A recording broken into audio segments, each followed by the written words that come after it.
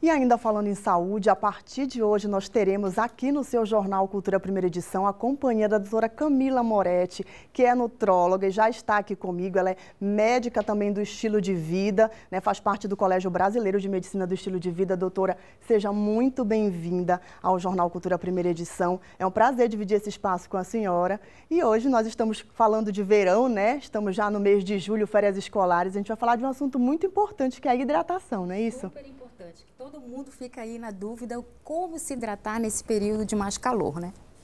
Doutor, então conta pra gente como fazer uma hidratação correta, principalmente para as crianças e para os idosos que vão estar tá aí indo para as praias paraenses. A gente sabe que tem muita opção boa por aqui, a gente acaba deixando um pouquinho de lado a questão da hidratação correta, né? O mais importante é a programação. É importante a gente saber também que existe um número mínimo aí que a gente pode ofertar de líquidos. Então, se você tem aí, pega o seu peso e multiplica por 35. É a oferta que a gente tem que dar ao dia. Mas para isso a gente tem que se programar. Levar a garrafinha, ter opções saudáveis como um picolé de frutas naturais e sempre lembrar que os idosos e as crianças são mais vulneráveis. Então sempre ofertar, porque dificilmente eles pedem, né? Ah, eu estou com sede. E quando a gente já tem sede, a gente já está desidratado a diversão tá tão boa que eles esquecem. Mas não são só os idosos e as crianças, tem a gente também. Tem, né, super. Porque a gente fala muito dessa faixa etária aí, mas a gente acaba às vezes também negligenciando um pouquinho a questão da hidratação. E no verão a gente tem mais um problema, né? No adulto jovem, é o uso da bebida alcoólica. Isso não conta como hidratação. Pelo contrário, a bebida alcoólica,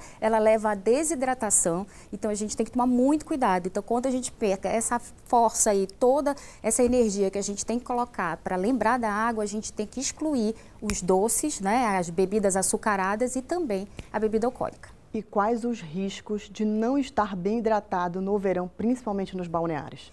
A gente negligencia a desidratação. Ela pode ser leve, mas ela pode até levar a risco de morte. Então a gente precisa realmente beber água, se hidratar, porque pode ter dor de cabeça, fadiga, aquela sensação de é, é, é, desfalecer, né? Então isso é importante a gente lembrar. Fora isso, a gente tem a diminuição do volume urinário, então a gente tem que olhar também a cor do nosso xixi. Cada vez que o xixi estiver mais concentrado, mais risco a gente tem de estar desidratado. Esse é um termômetro muito importante para a gente conseguir medir o nível de hidratação do corpo. Super. Existe uma escala, né, com um nome difícil, né, mas é que a gente precisa olhar. A gente tem que estar com a urina clara, uma urina mais ali amarelinha, para clara do que aquela urina concentrada e às vezes até alaranjada, mostrando que a gente realmente precisa de muito mais água naquele momento. Tem gente que substitui muito a água pela água de coco. É uma boa substituição? É uma boa substituição, mas a gente também pode utilizar a água saborizada. Então, a água saborizada é colocar ali um pouquinho de frutas que vocês gostam, limão, pode colocar é, tangerina, isso dá um sabor e ajuda muito também as crianças e os adolescentes a aderirem a esse método, né, esse hábito saudável que é beber água. Acaba sendo mais atrativo. Super e gostoso, né?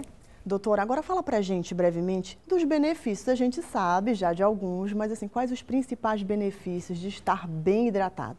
Beber água principalmente para quem quer perder peso, é muito importante, né? Dá a sensação de saciedade. Além disso, hidrata a pele, melhora todas as nossas funções do organismo. Então, a gente faz o nosso rim funcionar melhor, a pele fica melhor, o nosso intestino funciona melhor. Então, quem é constipado, quem tem dificuldade para evacuar, vai conseguir fazer isso com maior facilidade. Então, se hidratar é um dos benefícios mais importantes que a gente pode ter e um hábito que a gente precisa consolidar. Doutora, a gente sabe que existem alguns alimentos que interferem diretamente na questão intestinal. Existe algum alimento que bloqueia, o nosso corpo está recebendo essa hidratação, que a gente precise tomar mais água quando a gente ingerir esse alimento? Ah, sim. É, isso é muito genérico, né? A gente precisa realmente ver qual é aquele indivíduo. Então a gente vai observar. Sempre eu falo que a individualidade é mais importante, mas toda vez que a gente, por exemplo, bebe, bebe, ingere bebida alcoólica, a gente tem que beber o dobro. Se eu passo ali um pouquinho de álcool, eu vou beber o dobro de água. É um dos exemplos de alimentos que interferem nessa absorção. Doutora, muito obrigada pela sua participação conosco. Eu já lhe espero por aqui na próxima terça-feira para a gente falar de saúde, de qualidade de vida para todo mundo. Eu que agradeço. Obrigada.